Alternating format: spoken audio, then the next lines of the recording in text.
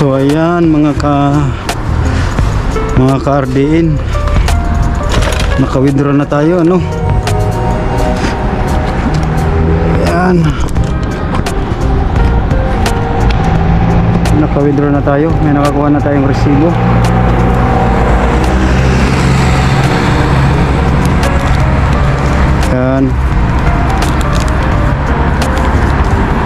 At ah, may magagamit na tayo sa ano sa ED balik na po tayo uwi